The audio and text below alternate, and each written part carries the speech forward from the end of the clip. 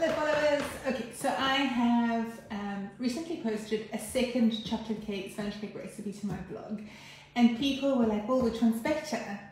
I think they're both nice recipes. I taste recipes all the time, so I um, post anything that I think is nice. I don't have a specific favorite, but I promised I would do a comparison. So I'm going to bake these two cakes. The one on my blog is called Perfectly Moist Chocolate Cake. And then the other one is this currant chocolate cake, which is got the syrup in it.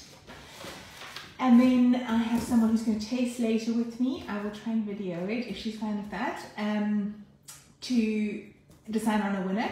But also just for the purposes of comparison, I'm also going to put my wild card one in here, which is the Ina Paarman chocolate cake mix. This big thing is um, the same as the yellow box that you get in the supermarket. It's just a bulk bag which you can buy from the factory shop. I do use it quite often and it is a very nice cake. So we'll see who's the winner and I will post the results. Um, but in the meantime, let me get baking.